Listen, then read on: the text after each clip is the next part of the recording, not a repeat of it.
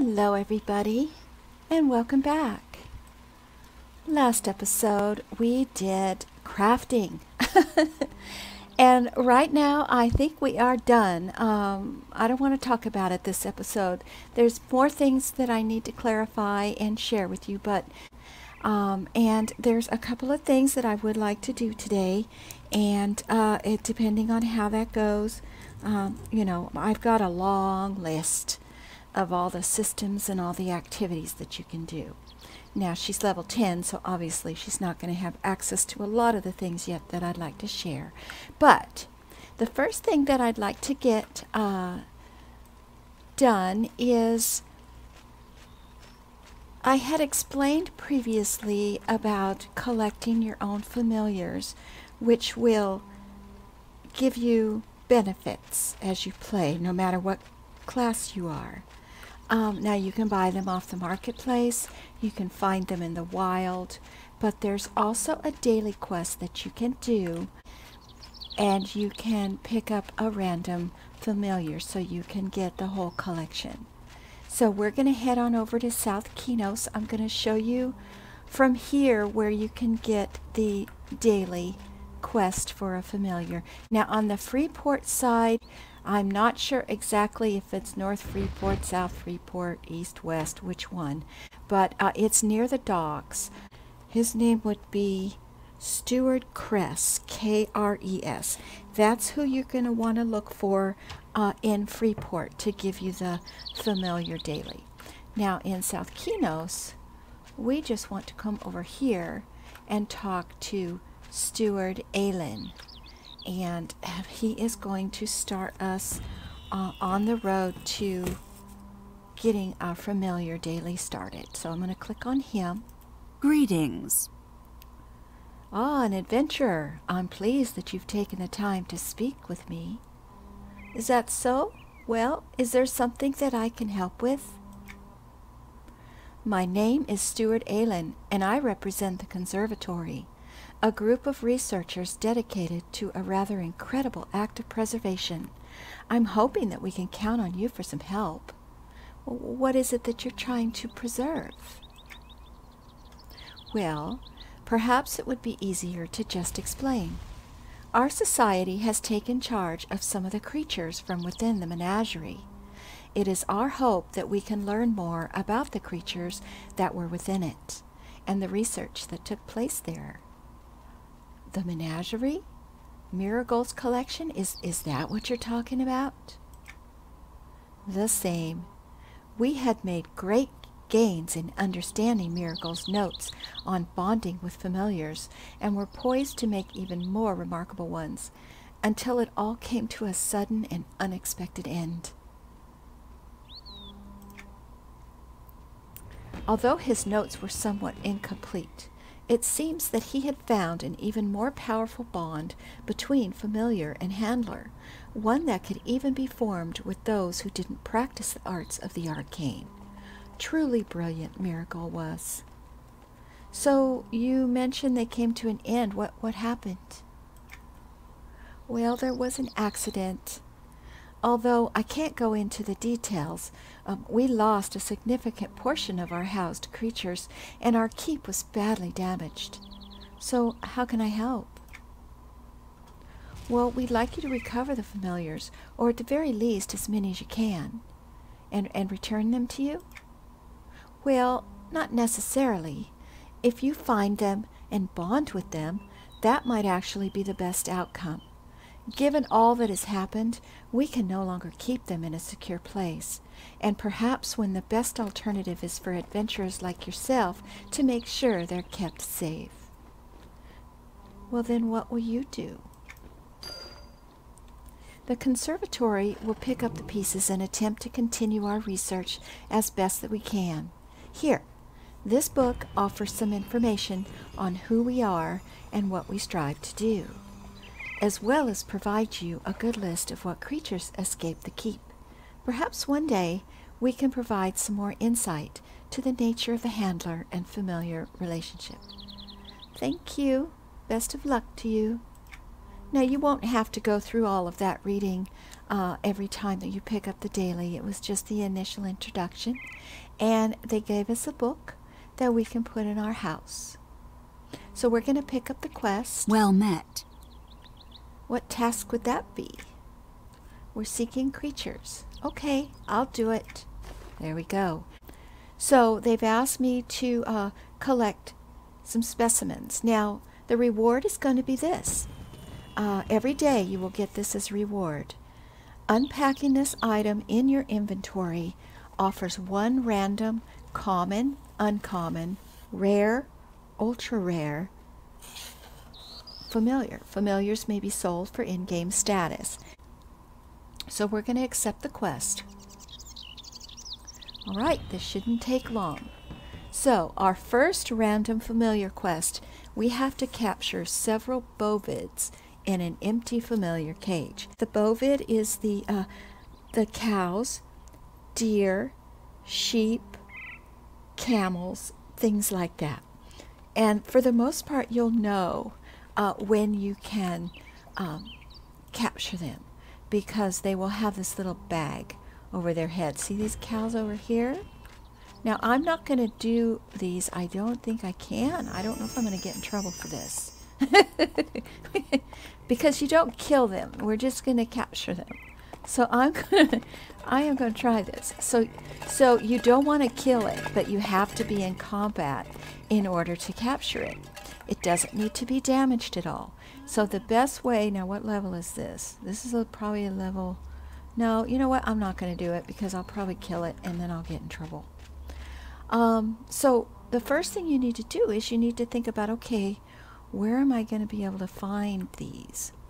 Now, I happen to know Antonica has a deer and such, but they're going to be possibly high level. We can go to Oakmyst. Let's try that. The same forest where we went to uh, harvest because there's deer there. And hopefully we can catch them. Uh, uh, it's hard enough to remember all of my calculations. There's quite a few different categories. There's about 12 different categories of creatures. Uh, so some of them might be difficult, which is a nice challenge. We want to go to city. So let's go back to Oakmyst.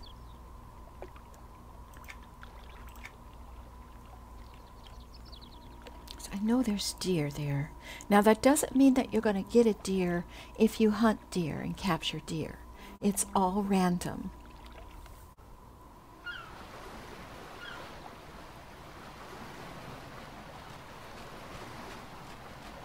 Alright, let's see if those deer will work. I'm hoping they will.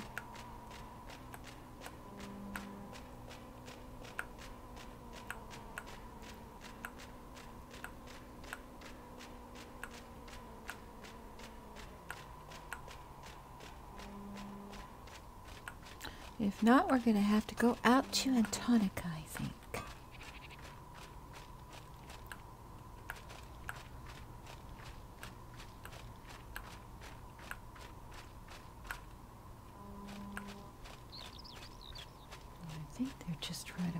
Like there's an oak mist doe. They do not have to be aggro or uh, give you XP. So they can be gray. So I'm going to click on it and I'm going to hit him with my auto attack. I'm in combat. Then I'm going to click on my cage button. So I have to get 10 more. And that's all there is to it. So every daily, every familiar quest is the same. So you want to attack him.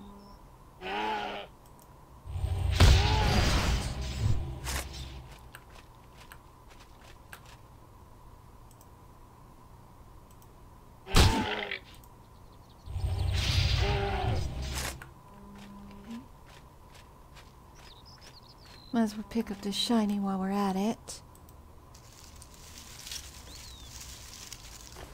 Nice. Okay, we're going to put that in our level 10.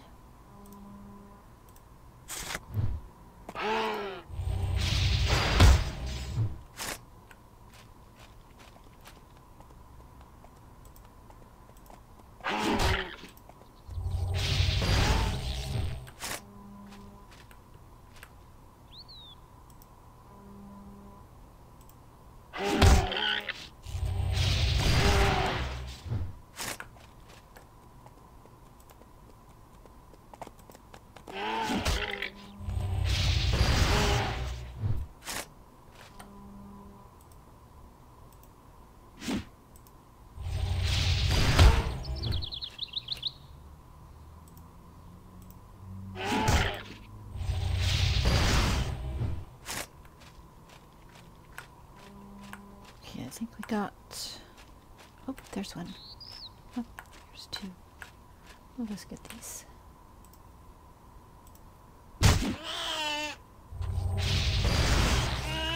One more.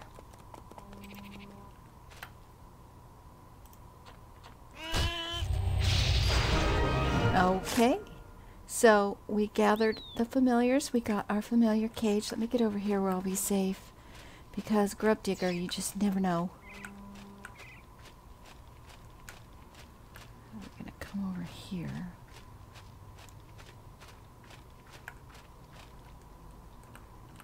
Okay. Once you finish completing the quest, you want to find the familiar in your bag. And you want to right click it and unpack it. This is what we got. We got a ticking arachnid. Now, what this is, uh, if you suffer from arachnophobia, you need not worry about this clockwork beast. Yes, it looks convincingly close to a large desert spider, but instead of skittering across the landscape on eight hairy legs, this one's propelled by clattering appendages of impenetrable metal, unremittingly following its programming. Oh, I'm not making it any better, am I? So what he's going to do for me is he's going to increase all my attributes by 3.7%. So we're going to go ahead and accept him. And now he goes into my bag. Now what you want to do is, is add it to your collection. So you right click it and add it to your collection. So we open up our character slot, go to familiars, and there he is right there. You'll need to, to find the one. Now, I don't know if they stay all in a certain season, like right now we're in season seven, but it looks like there's a whole, whole lot of them to collect. So, uh, you know, that's a good thing. so when you when you find one that you want to uh, to use, you drag the icon down into the equip slot. You also need to take this Summon Familiar button and put it down on your hotbar. Now sometimes you will get uh, a familiar that you you are training and he's really good, say he's got really good uh, attributes or whatnot, and you want to keep using him, but you don't like the way he looks. You can select another familiar that you've collected and place it in the appearance slot so it will look like you have a certain one when actually you have a different one. Um, and that's all there is to that. And now all we got to do is click on our, our summon. And there he is. So since he's a tinkered one, he's not going to eat much. You can kind of tell that he's electrical there by just this little markings on him. So one other thing you can do, if you want to, uh, that, that button summons him. If you want to, to desummon him and put him away, your active spell buttons, wherever you have them on your screen, you just right click and cancel it and he will disappear. Uh, now one thing that you can do is right click on your familiar, go to pet options, and you can give him a name if you'd like. Uh, I have no idea what to call him. We'll just call him Spidey. So uh, that's that. And that's about all there is to collecting familiars.